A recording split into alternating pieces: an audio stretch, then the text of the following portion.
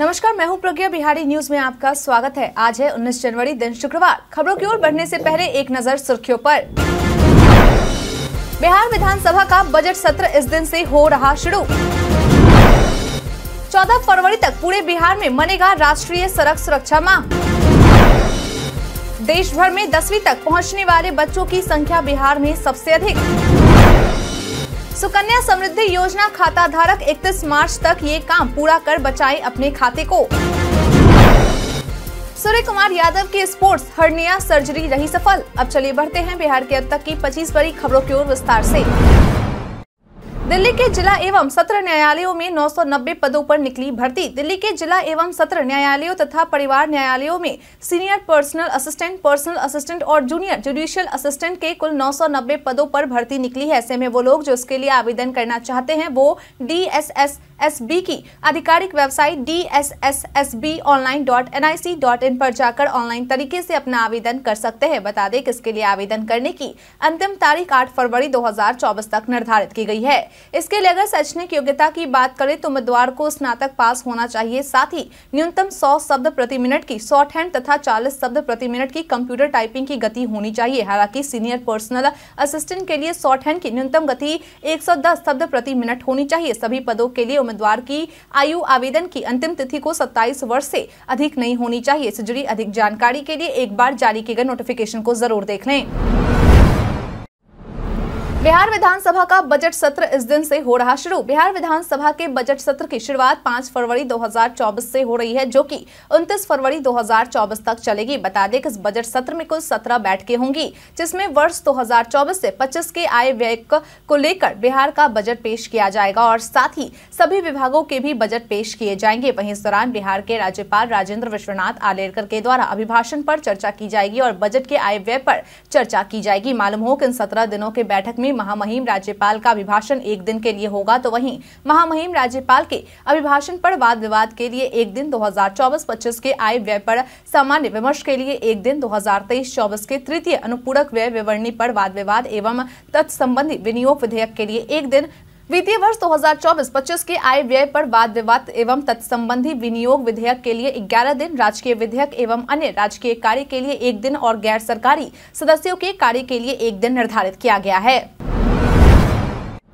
14 फरवरी तक पूरे बिहार में मनेगा राष्ट्रीय सड़क सुरक्षा माह। बीते दिन बिहार सरकार के परिवहन विभाग के सचिव संजय कुमार अग्रवाल के द्वारा राज्य के सभी जिलों के डीटीओ, एडीटीओ और एमवीआई को निर्देश देते हुए कहा गया है कि सड़क दुर्घटनाओं को गंभीरता से देखते हुए बिहार सड़क सुरक्षा परिषद द्वारा 14 फरवरी 2024 तक सभी जिलों में राष्ट्रीय सड़क सुरक्षा माह मनाया जाएगा, जिसमें जिलों में विभिन्न जागरूकता कार्यक्रम के साथ विशेष वाहन जाँच अभियान चलाया जाएगा। इस दौरान लोगों को सुरक्षित ड्राइविंग के लिए विभिन्न माध्यमों और सड़क सुरक्षा के नियमों एवं प्रावधानों से अवगत कराया जाएगा। शिविर लगाकर ड्राइवरों के नेत्रों की जाँच की जाएगी। नुक्कड़ नाटकों के माध्यम से लोगों को जागरूक किया जाएगा। छात्र छात्राएँ सहित अन्य लोग सड़क सुरक्षा का शपथ लेंगे और साथ ही पेंटिंग स्लोगन एवं क्विज प्रतियोगिता का भी स्कूलों व कॉलेजों में आयोजन किया जाएगा। विभाग के सचिव के द्वारा दी गई जानकारी के अनुसार प्रति वर्ष देश में लगभग चार दशमलव पाँच शून्य लाख सड़क दुर्घटनाएँ होती हैं, जिसमें करीब एक दशमलव पाँच शून्य लाख लोगों की मृत्यु हो जाती है। देश भर में दसवीं तक पहुँचने वाले बच्चों की संख्या बिहार में सबसे अधिक। असर 2023 की जारी हुई रिपोर्ट से यह जानकारी निकलकर सामने आई है कि देश में दसवीं तक पहुँचने वाले बच्चों की संख्या में बिहार के बच्चों की संख्या सबसे अधिक है। बता दें कि जारी किए गए रिपोर्ट के अनुसार पूरे देश भर में दसवीं तक पहुँचने वाले बावन दशमलव पाँच प्रतिशत बच्चे हैं, जबकि सर्वे में मॉडल के रूप में शामिल किए गए मुजफ्फरपुर में उनसठ दशमलव सात प्रतिशत बच्चे ऐसे हैं जो दसवीं तक पहुँचे हैं। आपकी जानकारी के लिए बता दें कि यह सर्वे देश के छब्बीस राज्यों के अट्ठाईस जिलों में चौदह से अठारह साल के बच्चों के साथ किया गया है। वहीं इस रिपोर्ट से यह भी जानकारी सामने आई है कि बिहार में स्नातक करने वाले लड़कियाँ छह दशमलव छह प्रतिशत है तो वहीं लड़के चार प्रतिशत है। हालाँकि ग्यारहवीं और बारहवीं में नामांकन लेने वाले बच्चों की संख्या बिहार में देश की तुलना में कम है। देश में जहाँ सत्ताईस दशमलव छह प्रतिशत बच्चे ग्यारहवीं और बारहवीं में पहुँच रहे हैं तो वहीं बिहार से तेईस दशमलव आठ प्रतिशत बच्चे ग्यारहवीं और बारहवीं कक्षा में पहुँच रहे हैं। अंकगणित को हल करने के मामले में बिहार देश की तुलना में आगे है। बिहार में उनसठ दशमलव तीन प्रतिशत बच्चे अंकगणित को हल करते हैं तो वहीं देश में तिरालीस दशमलव तीन प्रतिशत बच्चे बिहार के इस ज़िले में 20 जनवरी को लग रहा रोज़गार शिविर। अगर आप रोज़गार की तलाश में हैं तो यह खबर आपके लिए है। बता दें कि श्रम संसाधन विभाग के निर्देश के अनुसार जिला नियोजनालय सह मॉडल कैरियर सेंटर नवादा द्वारा आगामी 20 जनवरी को एक दिवसीय रोज़गार मेला का आयोजन किया जाने वाला है, जो की संयुक्त श्रम भवन नवादा के प्रांगण में आयोजित किया जाएगा। ऐसे में इस रोज़गार मेला में भाग लेने वाले उम्मीदवार दसवीं, बारहवीं के साथ आईटीआई पास होने चाहिए। इस बारे में जिला सूचना जनसंपर्क अधिकारी के द्वारा जानकारी देते हुए बताया गया कि इस रोज़गार मेला का आयोजन सुबह ग्यारह बजे से किया जाएगा। वहीं वैसे उम्मीदवार जिस रोज़गार मेला में भाग लेना चाहते हैं, वो अपने शैक्षणिक प्रमाण पत्र एवं आधार की छाया प्रति रंगीन फ़ोटो एवं बायोडाटा के साथ आयोजन स्थल पर निर्धारित किए गए समय के अनुसार पहुँचेंगे। वहीं इसके अलावा इसमें भाग लेने वाले उम्मीदवार का एनसीएस पोर्टल पर निबंधन होना भी अनिवार्य है। गणतंत्र दिवस की झांकी में दिखेगी बदलते बिहार की तस्वीर। गणतंत्र दिवस के मौके पर बिहार की राजधानी पटना के गांधी मैदान में सत्रह टुकड़ियों के द्वारा परेड किया जाएगा। वहीं इसके अलावा इस दौरान कुल तेरह झांकियाँ निकलेंगी जिसमें बिहार की बदलती तस्वीर को दिखाया जाएगा। बता दें कि संजय गांधी जैविक उद्यान के 50 साल पूरे हो गए हैं। ऐसे में इसको लेकर बाघ शेर और बंदर को भी झांकी में दिखाया जाएगा और इनकी अलग अलग कहानी साझा की जाएगी। इसके अलावा बिहार सरकार की योजना, जैसे मिडल ला नौकरी पाओ की भी झलक झांकी के माध्यम से दिखाई जाएगी। जो बिहार राज्य खेल प्राधिकरण के द्वारा विकसित किया जाएगा, वहीं बिहार शिक्षा परियोजना परिषद के द्वारा बिहार में स्कूलों की बदलती तस्वीर को दिखाया जाएगा। श्रम संसाधन योजना के ज़रिए श्रम से रोज़गार तक पहुँचे योजना को दिखाया जाएगा पटना नगर निगम की ओर से। कचरे को कैसे अच्छे तरीके से फिर से उपयोग में लाया जा सकता है, इसको लेकर झांकी दिखाई जाएगी। मद्य निषेध एवं उत्पाद विभाग के द्वारा नशा मुक्ति के बेमिसाल सात साल को दिखाया जाएगा। पर्यटन विभाग की ओर से इको टूरिज़्म की झांकी दिखाई जाएगी। माध्यमिक शिक्षक पात्रता परीक्षा हेतु जारी हुआ डमी एडमिट कार्ड इस दिन तक कर सकते हैं सुधार। माध्यमिक शिक्षक पात्रता परीक्षा के लिए बिहार स्कूल एग्जामिनेशन बोर्ड द्वारा दूसरा डमी एडमिट कार्ड जारी कर दिया गया है। यदि उम्मीदवार अपने इस एडमिट कार्ड को देखना चाहते हैं तो वे इसके आधिकारिक website B S E B S T E T दो हज़ार चौबीस डॉट कॉम पर जाकर देख सकते हैं। एडमिट कार्ड डाउनलोड करने और समीक्षा करने का समय 18 जनवरी से लेकर 24 जनवरी तक दिया गया है। उम्मीदवार इस एडमिट कार्ड को लॉग इन क्रेडिशियल के माध्यम से डाउनलोड कर सकते हैं। यदि किसी प्रकार की समस्या इसमें आ रही है तो आप इसके आधिकारिक वेबसाइट पर जाकर यूज़र आईडी और पासवर्ड लॉग इन करके इसे ठीक कर ले। सुधार करने का समय 24 जनवरी तक ही दिया गया है। 20 जनवरी को राज्यपाल करेंगे बिहार केसरी की प्रतिमा का अनावरण। आगामी 20 जनवरी को बिहार के औरंगाबाद ज़िले ओबड़ा मध्य विद्यालय में बिहार के राज्यपाल राजेंद्र विश्वनाथ आलेरकर के द्वारा बिहार केसरी व पूर्व मुख्यमंत्री डॉक्टर श्रीकृष्ण सिंह की प्रतिमा का अनावरण किया जाने वाला है। बता दें इस दौरान राज्यपाल के अलावा नागालैंड के पूर्व राज्यपाल निखिल कुमार एवं विधानसभा में प्रतिपक्ष के नेता विजय सिन्हा, लोजपा रामविलास के राष्ट्रीय अध्यक्ष चिराग पासवान, भाजपा के प्रदेश अध्यक्ष सम्राट चौधरी, पूर्व सांसद डॉक्टर अरुण कुमार सहित अन्य गणमान्य लोग भी मौजूद होंगे। बता दें कि इस बात की जानकारी श्री कृष्ण सिंह स्मृति मंच के सदस्यों के द्वारा दी गई है। उनके द्वारा दी गई जानकारी के अनुसार इस कार्यक्रम को लेकर ओबड़ा हाई स्कूल के मैदान में दो मंच का निर्माण कराया जा रहा है। वही इस दौरान कई सांस्कृतिक कार्यक्रम का भी आयोजन किया जाएगा। ऐसे में इसको लेकर बड़े स्तर पर तैयारियाँ की जा रही है। सुकन्या समृद्धि योजना खाता धारक 31 मार्च तक ये काम पूरा कर बचाएँ अपने खाते को। अगर आप भी सुकन्या समृद्धि योजना के खाता धारक हैं और आपने अब तक एक वित्त वर्ष में दो रुपए में की मिनिमम राशि इसमें निवेश नहीं की है तो यह खबर आपके लिए है। बता दें कि सुकन्या समृद्धि योजना के खाता धारक को इकतीस मार्च दो हज़ार चौबीस तक दो रुपए की मिनिमम राशि का निवेश ज़रूर कर ले, क्योंकि अगर ऐसा नहीं होता है तो आपके खाते को निष्क्रिय कर दिया जाएगा। जिसके बाद अगर आप अपने निष्क्रिय खाते को दोबारा से चालू करना चाहते हैं तो इसके लिए आपको पचास रूपए प्रति वर्ष के हिसाब से पेनल्टी देनी होगी। आपकी जानकारी के लिए बता दें कि इस योजना के तहत हर साल अधिकतम एक दशमलव पाँच शून्य लाख रुपए की अधिकतम राशि निवेश करने पर जब आपकी बेटी इक्कीस साल की हो जाती है तो आप उसे लखपति बना सकते हैं। मालूम हो कि फ़िलहाल सरकार की ओर से खाते में जमा राशि पर आठ दशमलव दो शून्य फ़ीसदी के हिसाब से ब्याज दर ऑफ़र कर रही है। बिहारी पहचान में आज हम बात करेंगे के के गोस्वामी के बारे में। कृष्णकांत गोस्वामी एक भारतीय टेलीविज़न और फ़िल्म अभिनेता हैं, जो भारतीय टीवी धारावाहिकों हिंदी, गुजराती, मराठी, बंगाली, भोजपुरी फ़िल्मों और धारावाहिकों में दिखाई देते हैं। सत्ताईस साल से अधिक के ऑन स्क्रीन करियर में गोस्वामी को स्टार परिवार अवार्ड, जी रिश्ते और कई अन्य सहित कई पुरस्कार प्राप्त हुए हैं। वह फ़िल्मों और श्रृंखलाओं में तीन से अधिक पीढ़ियों के लिए सबसे मिलनसार प्रकृति अभिनेता है।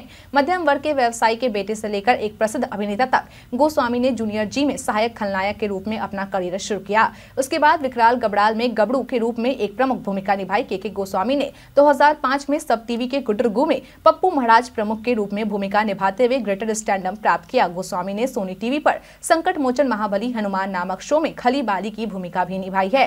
इसके साथ ही उन्होंने कई अन्य शो में भी काम किया है। यह भारत के सबसे छोटे अभिनेताओं में से, यह भारत के सबसे छोटे अभिनेताओं में से एक है।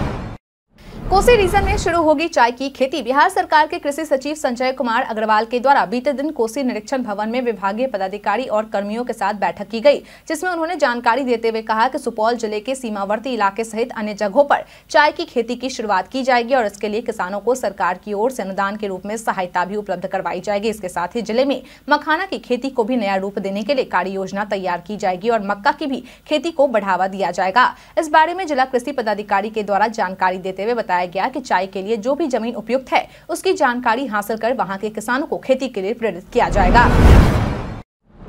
राष्ट्रीय पेंशन प्रणाली के निवेशकों को एक फरवरी से मिलेगा ये लाभ भारत के पेंशन क्षेत्र के नियामक पीएफआरडीए, यानी कि पेंशन फंड नियामक और विकास प्राधिकरण के द्वारा एनपीएस के निकासी नियमों में कुछ बदलाव किए गए हैं, जो एक फरवरी 2024 से लागू हो जाएँगे। बता दें कि जो नियम बदले गए हैं, उसके अनुसार निवेशक एनपीएस निकासी फॉर्म दाखिल करने पर अपने व्यक्तिगत पेंशन खाते के योगदान का पच्चीस तक निकाल सकते हैं, लेकिन इस दौरान निवेशक को किन कारणों से पैसे निकाले जा रहे हैं, उसकी जानकारी देनी होगी, जिसके तहत बच्चों की उच्च शिक्षा, बच्चों का विवाह बीमारियों के उपचार, विकलांगता या अक्षमता के कारण चिकित्सा या आकस्मिक खर्च, अपने स्वयं के उद्यम या किसी स्टार्टअप की स्थापना या शहर के नाम पर या कानूनी रूप से विवाहित जीवन साथी के संयुक्त नाम पर आवासीय घर या फ्लैट की खरीद या निर्माण जैसे कारण होने चाहिए। लेकिन यदि ग्राहक के पास पहले ही एक आवासीय घर या फ्लैट, पैतृक संपत्ति के अलावा है तो कोई निकासी की अनुमति नहीं दी जाएगी। नियोजित शिक्षकों की जल्द होगी पंद्रह दिनों की स्पेशल ट्रेनिंग बिहार लोक सेवा आयोग के द्वारा आयोजित की गई दूसरे चरण के शिक्षक भर्ती परीक्षा में चयनित हुए शिक्षकों को इक्यासी विभिन्न प्रशिक्षण केंद्रों पर आवासीय प्रशिक्षण दिया जा रहा है और अब तक छत्तीस हज़ार शिक्षकों को प्रशिक्षण दिया जा चुका है। वहीं बाकी बचे शेष शिक्षकों को एक माह में प्रशिक्षण दे दिया जाएगा। इस बारे में राज्य शिक्षा शोध एवं प्रशिक्षण परिषद के निदेशक सज्जन आर के द्वारा जानकारी देते हुए बताया गया है की आवासीय प्रशिक्षण एस सी सहित अन्य केंद्रों पर दिया जा रहा है, जिसमें बच्चों को पढ़ाने के तरीके स्कूल संचालन के तरीके, बच्चों से कैसे बात करनी है, आदि चीज़ों के बारे में जानकारी दी जा रही है। वही इस एक महीने के प्रशिक्षण के बाद नियोजित शिक्षकों को भी पंद्रह दिनों की विशेष प्रशिक्षण देने की भी बात की जा रही है, जो जल्द ही शुरू की जाएगी। तेजस्वी ने की होटल और पर्यटन में निवेश की अपील। बीते दिन बिहार के उप मुख्यमंत्री तेजस्वी यादव के द्वारा पर्यटन नीति बुकलेट का विमोचन करने के दौरान एग्जीबिशन रोड स्थित होटल में टूर ऑपरेटर्स और होटेलियर्स के साथ पर्यटन नीति पर आयोजित परिचर्चा में भाग लिया गया और होटल संचालकों और टूर ऑपरेटर से पर्यटन नीति का फ़ायदा उठाने की अपील की गई। उन्होंने कहा कि बिहार में पर्यटन की अपार संभावनाएँ हैं। यहाँ हर साल बड़ी संख्या में पर्यटक आते हैं। उन्हें बेहतर सुविधा देकर हम उन्हें हर साल बुला सकते हैं। इससे हमारा पर्यटन और होटल उद्योग काफ़ी बढ़ेगा और राज्य में नौकरी व रोज़गार के अवसर भी बढ़ेंगे। हमारा राज्य ज्ञान और मोक्ष की धरती है। ऐसा कोई कारण नहीं है कि आप यहाँ निवेश न करें। उन्होंने कहा कि हम सहयोग की उम्मीद नहीं करते हैं। अपनी इच्छा शक्ति के बल पर हम अपने प्रदेश को खुद के दम पर विकसित करेंगे। राज्य में 21 जनवरी तक जारी रहेगा शीतलहर का कहर। सर्द पछुआ हवा के कारण पटना समेत प्रदेश के अधिसंख्य भाग में कड़ाके की ठंड पड़ रही है। घना कोहरा भी छड़ा है। मौसम विज्ञान केंद्र के अनुसार 21 जनवरी अर्थात अगले चार दिनों तक भीषण ठंड से राहत मिलने के आसार नहीं है। इस दौरान घना कोहरा व शीत दिवस को लेकर चेतावनी जारी की गई है। मौसम विभाग की माने तो बिहार में 26 जनवरी के आसपास एक शक्तिशाली पश्चिमी विक्षोभ बन रहा है। इसकी वजह से बिहार में 26 या 27 जनवरी को बिहार के कई जिलों में बारिश हो सकती है। इससे ठंड बढ़ेगी। वहीं आईएमडी बिहार के द्वारा जारी किए गए पूर्वानुमान के अनुसार आज यानी कि उन्नीस जनवरी को राज्य के कुछ स्थानों में शीत दिवस होने की संभावना जताई गई है। इसके साथ ही राज्य के पूर्व एवं मध्य भाग के एक या दो स्थानों में सुबह के समय घना कुहासा छाए रहने की संभावना जताई गई है। आईएमडी बिहार की ओर से इसको लेकर येलो अलर्ट जारी किया गया है। वहीं इसके अलावा राज्य के पश्चिम भाग में सुबह के समय हल्के से मध्यम स्तर का कुहासा छाए रहने की संभावना जताई गई है और विभाग की ओर से ग्रीन अलर्ट जारी किया गया है। बिग बॉस बारह फेम दीपक ठाकुर की बहन बनी अफसर। बिग बॉस बारह फेम और सिंगर दीपक ठाकुर के द्वारा अपने सोशल मीडिया पर एक जानकारी साझा की गई है। उन्होंने इंस्टाग्राम पर एक वीडियो शेयर करते हुए कैप्शन में लिखा है, किस खुशी को शब्दों से बयान नहीं किया जा सकता। मेरी छोटी बहन बीपीएससी एग्ज़ाम क्लियर करके पंचायती राज पदाधिकारी बन गई है। बोले तो अफसर बन गई है। रिज़ल्ट आने के बाद से भावनाओं का सैलाब उमड़ा है। बहन, तुमने सपना देखा और पूरे परिवार ने उसे जिया। आज तुमने जो कर दिखाया है, वो कल्पना से पड़े है। बहुत भावुक हूँ। पोस्ट लिखते लिखते आँखों से आँसू टपक पकड़े हैं, ये खुशी के आँसू हैं। आज इन्हें बहने देते हैं। अफसर बन गई बहन। आज तुम, हम सबको बहुत बहुत बहुत गर्व है। तुमने आज पूरे खानदान का माँ पापा का, सबका नाम रोशन कर दिया, सबका मान सम्मान बढ़ाया है। तुमने अपनी मेहनत के दम पर आज बीपीएससी क्लियर करके ये साबित किया है कि हर गरीब, मध्यम वर्गीय परिवार भी बड़ा सपना न सिर्फ़ देख सकता है, बल्कि उसको पूरा भी कर सकता है। ये सफ़र बिल्कुल आसान नहीं था, लेकिन वही बात है ना, बहन, हम मध्यम वर्गीय परिवार से आने वालों के पास कोई दूसरा ऑप्शन और बैकअप कहाँ होता है? सिवाय इससे की मेहनत कर अपने रिश्तेदारों के तानों का जवाब बस कामयाब होकर दे। माँ पापा ने अपनी पूरी उम्र हम लोगों को पढ़ाने और अपने अपने क्षेत्र में कामयाब करने में झोंक दी। क्या क्या नहीं? सुने बोलो खुश खुश रहो और तरक्की करो। आगे बढ़ो, अब अगला मुकाम यूपीएससी होना चाहिए।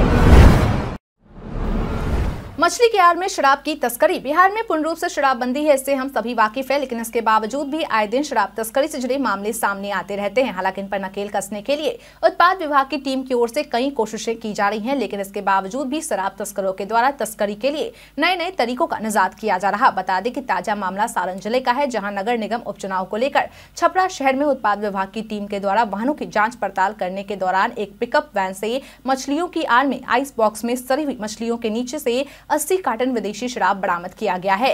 वहीं इसके अलावा वाहन जाँच के दौरान ही एक जाइलो कार से 17 कार्टन विदेशी शराब बरामद की गई है। बता दें कि इस संबंध में सारण ज़िले के उत्पाद अधीक्षक रजनीश कुमार के द्वारा जानकारी देते हुए बताया गया कि उत्पाद विभाग की टीम के द्वारा दोनों वाहनों से बरामद शराब और वाहनों को जब्त कर लिया गया है और आगे की कार्रवाई की जा रही है। बिहार के प्रांजलि राज को दिल्ली में मिलेगा वीर गाथा अवार्ड का सम्मान। बिहार के मुंगेर की बेटी प्रांजलि राज के द्वारा तेरह वर्ष की छोटी सी उम्र में एक बड़ी सफलता हासिल की गई है। दरअसल प्रांजलि राज का चयन सुपर सौ वीर गाथा विजेता के रूप में हुआ है। ऐसे में अब प्रांजलि राज को देश की राजधानी दिल्ली में आयोजित होने वाले गणतंत्र दिवस परेड समारोह में अतिथि के रूप में बुलाया गया है, जहाँ उन्हें रक्षा मंत्री राजनाथ सिंह और शिक्षा मंत्री रमेश पोखरियाल निशंक के द्वारा सम्मानित किया जाएगा।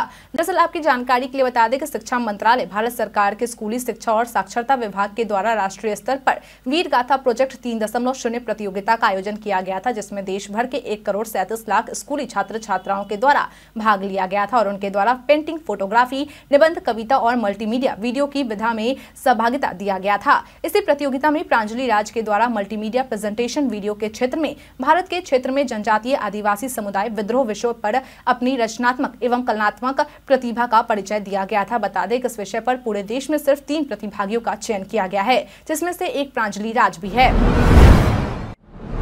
मोहन यादव ने बिहार के लोगों को लेकर कहा, ये बीते दिन मध्य प्रदेश के मुख्यमंत्री मोहन यादव बिहार की राजधानी पटना पहुँचे, जहाँ उनका श्री कृष्ण चेतना विचार मंच द्वारा पटना के श्री कृष्ण मेमोरियल हॉल में आयोजित समारोह में भव्य स्वागत किया गया। वहीं इस दौरान मोहन यादव के द्वारा बिहार और यूपी के यदुवंशियों को गीता का उपदेश और भगवान राम की भक्ति का पाठ पढ़ कर एक साथ साधने की कोशिश की गई है। उन्होंने कहा कि बोलो, वृंदावन बिहारी लाल की जय, एक ऐसा जयकारा है जिसमें बिहार और उत्तर प्रदेश दोनों समाहित हैं। दोनों प्रदेशों का नाम भगवान कृष्ण के नाम से आता है, इससे अच्छी आनंद आनंद बात और क्या हो सकती है? भगवान कृष्ण ने धर्म की रक्षा के लिए अपने मामा कंस का वध कर दिया। उसके बाद भी सत्ता की कुर्सी पर नहीं बैठे, ऐसा यादव समाज से निकले भगवान कृष्ण ही कर सकते हैं। लोकतंत्र को ज़िंदा रखने में हमारे समाज की अहम भूमिका है। यादव समाज के लोग गाय पालकर भी अपना जीवन चलाते हैं। इसके साथ उन्होंने बिहार के लोगों को मध्य प्रदेश में व्यापार करने के लिए भी आमंत्रित किया। आरजेडी सांसद मनोज झा ने पीएम मोदी पर बोला हमला। बीते दिन राजद सांसद मनोज झा के द्वारा राम मंदिर की प्राण प्रतिष्ठा को लेकर नरेंद्र मोदी पर जमकर हमला बोला गया। उन्होंने कहा कि धार्मिकता और धर्मांधता में हम सब फ़र्क भूल गए हैं और इसमें अहम भूमिका प्रधानमंत्री ने निभाई है। मेरी नज़र में महात्मा गांधी से बड़ा कोई हिंदू नहीं है। जिस व्यक्ति को गोली लगी, लेकिन फिर वे, हे राम, कहते हुए दुनिया से विदा हो गए। उन्होंने कभी राजनीति और धर्म का घालमेल नहीं किया। वे जानते थे कि राजनीति में धार्मिकता धर्मांधता में तब्दील हो जाती है। उन्होंने कहा कि आज इस देश में कई महीनों से रोज़गार पर बात नहीं हो रही है। साल 2014 में प्रधानमंत्री मोदी रोज़गार के वादे पर आए थे। राम मंदिर पर नहीं, अब वे जानते हैं कि वे असफल हुए हैं, तभी उन्होंने इससे अपने असफलता को छुपाने की कोशिश की है। सूर्य कुमार यादव के स्पोर्ट्स हर्निया सर्जरी रही सफल। भारतीय बल्लेबाज सूर्य कुमार यादव के द्वारा अपने सोशल मीडिया अकाउंट इंस्टाग्राम पर अपनी एक तस्वीर शेयर की गई है, जिसमें वे हॉस्पिटल के बेड पर नज़र आ रहे हैं। इस तस्वीर को शेयर करते हुए सूर्य कुमार यादव के द्वारा कैप्शन में लिखा गया है कि सर्जरी हो गई है। मैं सभी को उनकी शुभकामनाओं के प्रति धन्यवाद करना चाहूँगा, जिन्हें मेरे स्वास्थ्य के प्रति चिंता थी। मैं जल्द ही वापसी करूँगा। दरअसल पिछले महीने दक्षिण अफ्रीका के दौरे के दौरान सूर्य कुमार यादव चोटिल हो गए थे, जिसके बाद उन्होंने जर्मनी में अपना सर्जरी करवाया है। ऐसे में अब उन्हें अपनी सर्जरी से पूरी तरह उभरने में कम से कम एक महीने का समय लगेगा, जिससे कि अब यह कयास लगाए जा रहे हैं कि सूर्य कुमार यादव आईपीएल के दौरान वापसी कर सकते हैं, जिसके बाद जून में वो टी विश्व कप में भी खेल सकते हैं। भारत के इतिहास में आज की तारीख है कई कारणों से दर्ज। भारत के पहले प्रधानमंत्री जवाहरलाल नेहरू की इकलौती बेटी इंदिरा गांधी को उन्नीस सौ छियासठ में आज ही के दिन भारत का तीसरा प्रधानमंत्री चुना गया। हिमाचल प्रदेश में उन्नीस सौ पचहत्तर में भूकंप आया। परिवहन विमान पर हमले के बाद सरायोवो से लोगों को बाहर निकालने का काम उन्नीस सौ चौरानवे में राष्ट्र संघ अधिकारियों ने स्थगित कर दिया। सानिया मिर्ज़ा दो में लॉन टेनिस के ऑस्ट्रेलिया ओपन के तीसरे दौर में पहुँचने वाली पहली भारतीय महिला बनी। ओमान के सुल्तान Qaboos bin Said bin Taimur Al Said को दो हज़ार सात में जवाहरलाल नेहरू पुरस्कार प्रदान करने का फैसला किया गया। 2009 में सूर्यशेखर गांगुली ने पार्श्वनाथ शतरंज खिताब जीता। अठारह में मराठी भाषा के सुप्रसिद्ध साहित्यकार विष्णु सखाराम खांडेकर का जन्म हुआ। उन्नीस में शांति निकेतन की नींव डालने वाले और ब्रह्म समाज की स्थापना देवेंद्र बाबू का जन्म हुआ। उन्नीस में फ़िल्म जगत के मशहूर उर्दू शायर कैफी आजमी का जन्म हुआ। उन्नीस सौ पैंतीस में बंगाली फ़िल्म अभिनेता सौमित्र चटर्जी का जन्म हुआ। पंद्रह में मेवाड़ के राजपूत शेर महाराजा प्रताप का निधन हुआ था। उन्नीस में नोबेल पुरस्कार विजेता रविंद्रनाथ टैगोर के पिता और भारतीय चिंतक विचारक देवेंद्रनाथ टैगोर निधन हुए थे। उन्नीस सौ नब्बे में भारतीय विचारक और धर्मगुरु आचार्य रजनीश का निधन हुआ था। उन्नीस सौ पंचानवे में हिंदी साहित्यकार उपेंद्र नाथ अशक का निधन हुआ था। 2010 में कन्नड़ फ़िल्मों के प्रसिद्ध अभिनेता के एस अश्वात का निधन हुआ था। 2012 में प्रसिद्ध संगीतकार तथा भारतीय व पश्चिमी संगीत के उस्ताद एंथनी गोंजाल्वस का निधन हुआ था। 2015 में राजनीतिक विचारक एवं लेखक रजनी कोठारी का निधन हुआ था। वायरल में आज हम बात करेंगे कौशल भारत, कुशल भारत योजना के बारे में। सोशल मीडिया पर कई सूचनाएँ वायरल होती है, लेकिन सभी सच हो, ये ज़रूरी नहीं है। इसी कड़ी में आज हम बात करेंगे कौशल भारत, कुशल भारत योजना के बारे में। दरअसल पीआईबी ने अपने एक ट्वीट में लिखा है कि ऐसा दावा किया जा रहा है कि कौशल भारत, कुशल भारत योजना के तहत ग्राहक सेवा प्रतिनिधि की नियुक्ति की जाएगी एवं अट्ठाईस हज़ार रूपए मानदेय दिया जाएगा। नियुक्ति से पूर्व एक हज़ार तीन सौ पचास रूपए का पंजीकरण शुल्क देना होगा। पीआईबी ने अभी ट्वीट में आगे लिखा है कि दावा फर्जी है। सरकार द्वारा ऐसी कोई योजना नहीं चलाई जा रही है। फ़ोन पर बार बार आने वाले विज्ञापन को हटाए। ऐसे फ़ोन इस्तेमाल करते समय अगर बार बार विज्ञापन आता है तो यूज़र्स को काफ़ी गुस्सा आता है। लेकिन क्या आपको पता है कि आप फ़ोन पर आने वाले इन एड्स को हटा भी सकते हैं? इसके लिए आपको कुछ स्टेप्स फॉलो करने होंगे। अगर आप भी अपने फ़ोन पर आने वाले इस एड्स को हटाना चाहते हैं तो इसके लिए सबसे पहले आपको अपने फ़ोन की सेटिंग्स में जाना होगा और इसके बाद आपको गूगल पर टैप करना होगा, फिर मैनेज योर गूगल अकाउंट पर जाना होगा। फिर जैसे ही आप इस पर टैप करेंगे तो आपको डाटा एंड प्राइवेसी का ऑप्शन मिलेगा। इसके बाद जब आप इसको थोड़ा नीचे की तरफ़ स्क्रॉल डाउन करेंगे तो मिलेगा पर्सनलाइज पर्सनलाइज एड्स इसके नीचे। पर्सनलाइज एड्स के नीचे आपको माई एड सेंटर ऑप्शन मिलेगा। जैसे ही आप इस पर टैप करेंगे तो आपके सामने पर्सनलाइज एड्स का टॉगल आ जाएगा, जैसे आपको ऑफ़ कर देना होगा। आप सेटिंग्स में जाकर गूगल पर टैप करना होगा और फिर डिलीट एडवर्टाइजिंग आईडी पर टैप करके इसे डिलीट कर देना है। इसके बाद आपको फ़ोन पर किसी भी तरह की कोई एड नहीं दिखाई देगी। दीघा घाट पर अगले सप्ताह से ले वाटर स्पोर्ट्स का रोमांच। अगर आप भी वाटर स्पोर्ट्स में रुचि रखते हैं तो यह खबर आपके लिए है। बता दें कि बहुत जल्दी बिहार की राजधानी पटना में स्थित दीघा घाट में लोगों को वाटर स्पोर्ट्स का रोमांच उठाने का मौका मिलने वाला है। दरअसल अगले सप्ताह से दीघा घाट पर वाटर स्पोर्ट्स की शुरुआत हो जाएगी। हालाँकि अभी केवल स्पीड बोट्स लगाए गए हैं, लेकिन अभी कई तरह के बोट लाने की योजना बनाई गई है। बता दें कि वाटर स्पोर्ट्स का ट्रायल हो चुका है। वहीं अगर इसके शुल्क की बात करें तो दो सीटर बोट का शुल्क प्रति व्यक्ति पाँच सौ चार सीटर का प्रति व्यक्ति दो सौ और आठ सीटर का प्रति व्यक्ति दो सौ शुल्क रखा गया है। बता दें कि गंगा में 350 से 500 मीटर के दायरे में वाटर स्पोर्ट्स होगा। मालूम हो कि पटना के अलावा दरभंगा, बांका, मुंगेर, जमुई, मोतिहारी और पूर्णिया में भी फरवरी के महीने से वाटर स्पोर्ट्स की सुविधा मिलने वाली है। इसके लिए तेज़ी से काम किया जा रहा है। हम प्रतिदिन आपसे पाँच ऐसे ज़रूरी सवाल और उसके जवाब बताएँगे जो कि बीपीएससी बिहार पुलिस, दरोगा समेत एसएससी जैसे अन्य प्रतियोगी परीक्षाओं में काम आएँगे। सवाल इतिहास, बिहार स्पेशल विज्ञान करंट अफेयर्स और भूगोल से रहेंगे। पूछे गए पाँचों सवाल में आपने कितना सही उत्तर दिया यह हमें कॉमेंट करके ज़रूर बताएँ। हमारा पहला सवाल है, हाल ही में प्रधानमंत्री नरेंद्र मोदी ने किस राज्य में राष्ट्रीय सीमा शुल्क अप्रत्यक्ष कर और नार्कोटिक्स अकादमी के नए परिसर का उद्घाटन किया है? Option A Madhya Pradesh option B Uttar Pradesh option C Andhra Pradesh option D Gujarat.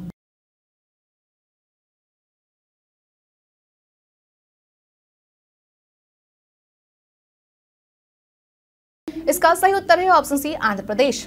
अगला सवाल, हाल ही में भारत और किस देश की नौसेना का पहला द्विपक्षीय अभ्यास एक्स अयुत्सा शुरू हुआ है? Option A Thailand, option B Maldives, option C Sri Lanka, option D Bangladesh.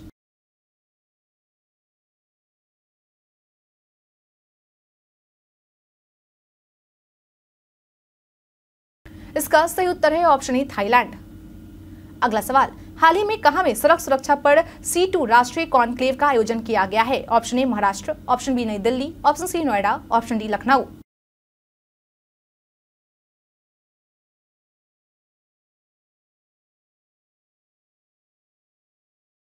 इसका सही उत्तर है ऑप्शन बी, नई दिल्ली। अगला सवाल, राजगीर के ब्रह्मकुंड का औसत तापमान कितना है? Option A 40 degree Celsius, option B 48 degree Celsius, option C सतासी डिग्री सेल्सियस, ऑप्शन डी, चौवन डिग्री सेल्सियस।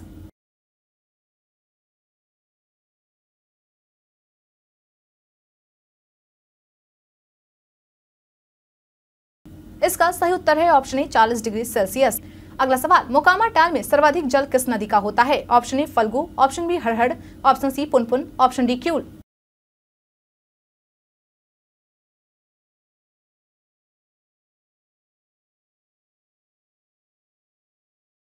इसका सही उत्तर है ऑप्शन ए, फल्गु। बीते दिन हमारे द्वारा पूछे सवाल का आप लोगों में से बहुत लोगों ने अपना जवाब हमें हमारे कमेंट सेक्शन बॉक्स में लिख कर दिया था, जिन्होंने हमारे द्वारा पूछे सवाल का जवाब दिया उनके नाम है रंजीत मिश्रा, उमेश सिसदेव, मुकेश नन्नू, गोलू कुमार, प्रमोद मंडल, अंजुम खातून, विक्रम कुमार, राहुल कुमार, जयप्रकाश, उमाशंकर प्रसाद चौधरी, खुशबू खातून, विनय राज, शाहिल यादव सोबानंद ठाकुर, विनोद सिंह, मंजय कुमार। इसके साथ ही बढ़ते हैं आज के सवाल की और आज का सवाल है, आप सड़क पर ट्रैफ़िक नियमों का पालन करते हैं या नहीं? अपना जवाब हमें हमारे कमेंट सेक्शन में लिखकर ज़रूर बताएँ। आज के लिए इतना ही। बिहार की तमाम खबरों के साथ बने रहने के लिए देखते रहे। बिहारी न्यूज़ और साथ ही अगर आप यूट्यूब से देख रहे हैं, चैनल को लाइक और सब्सक्राइब करें। और अगर आप फेसबुक से देख रहे हैं तो पेज को फॉलो करना ना भूलें। धन्यवाद।